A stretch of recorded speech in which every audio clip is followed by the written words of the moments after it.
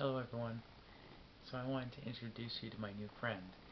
Um, this is one of my uh, roommate's cats. She has three.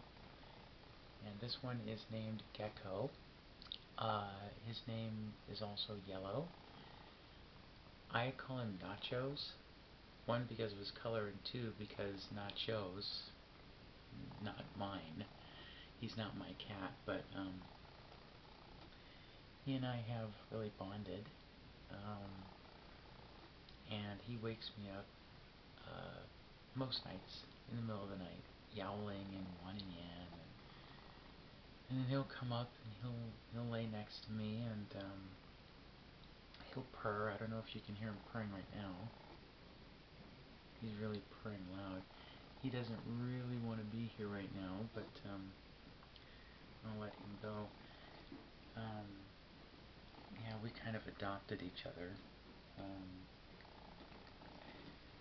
now my my dark blue shirt is turning, hi kid, turning orange. That's okay though. I knew that was going to happen. Um, it's okay, kid. So, moving is always really stressful. And um, this situation that I moved into was less so, but it's still stressful and um, one of the cats, he really doesn't, um,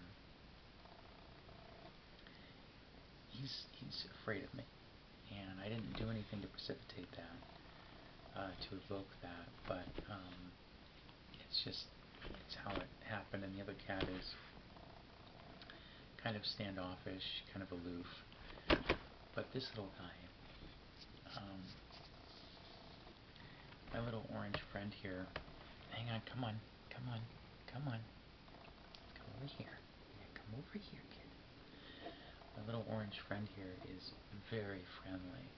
He was the one that was standoffish at first, but um, then he realized that I was friendly and, and I was, um, he's always knocking my stuff over, that I was friendly and that I was nice and I'd give him all the love that he wanted gives me love in return um, through his visits and uh, he's starting to lay with me uh, for hours at night.